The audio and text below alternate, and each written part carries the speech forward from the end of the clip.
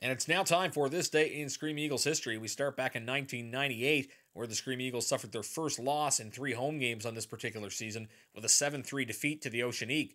Four point night for Jonathan Beaulieu and three points for Julien Desrosiers. Brad Richards with two assists for the Oceanique. Ryan Walsh had two goals in this game for Cape Breton. Philippe Tremblay had two assists. Eagles forward Sandro Sabroka dropped the gloves on this night with Casey Leggett. Philippe Sauve makes 27 saves on 30 shots for the win for the Oceanique.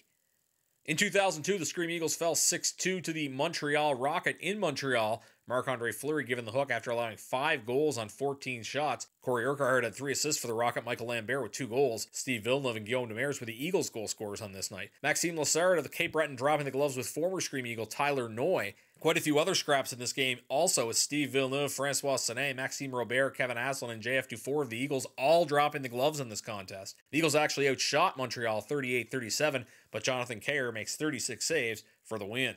In 2004, the Scream Eagles fell 4 1 in Baie-Comeau to the Drakkar. Four different goal scorers in this game for Baie-Comeau, including future Scream Eagle Alex Blay. Benjamin Bro had two assists for the Drakkar. Loic Lacasse made 36 saves on 37 shots. Francois Proto with the start for Cape Breton, stopping 35 of 39. Neil Smith scored the only goal for the Eagles. Scrapping on this night for Cape Breton were Robin Richards and Charles Fontaine.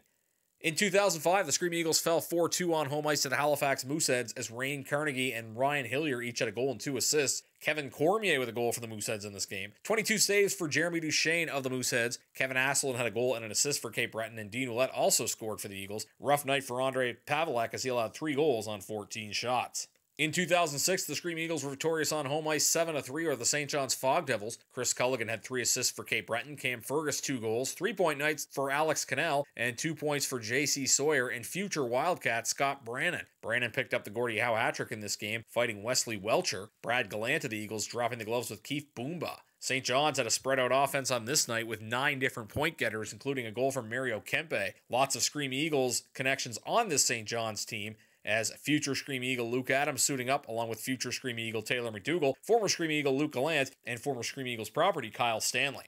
In the year 2011, the Scream Eagles were victorious 4 3 on home ice over Halifax. Eagles were on a four game home ice winning streak to start the season. Eagles were actually down 3 to nothing in this game, but scored three times in the third period to complete the comeback. Morgan Ellis had two assists for Cape Breton, and David Rose had a goal and an assist. Corey McIntosh, the game winner for Cape Breton. This was actually Brad Cuzner's first game back at Center 200 after being picked up on waivers by the Mooseheads, having played for the Eagles the prior two years. It was also Nathan MacKinnon's first visit to Center 200. He had no points in this game. Darcy Ashley had a goal and an assist, though, for Halifax. In 2015, the Scream Eagles were victorious 7 3 on home ice over Moncton, chasing former Scream Eagle goaltender Zach Fortin, who allowed five goals on 21 shots in his return to Center 200. Two goals and an assist for Loic Lavier of Cape Breton, and two point nights for Olivier Leblanc, Felix Martineau, and Max Lazarev. Olivier LeBlanc and Clark Bishop both dropping the gloves with Kelly Klima of the Wildcats in this game. A number of other scraps, Ty Fournier fighting Zach McEwen, Jonathan Deschamps of the Eagles fighting William Bauer. Also a big night for Cole Reginato as he had his first Q career goal. Big night for Connor Garland in the loss as he had a goal and two assists for the Wildcats. That's this day in Screaming Eagles history. You're listening to McDonald Auto Group, Screaming Eagles Hockey, 1270 CJCB.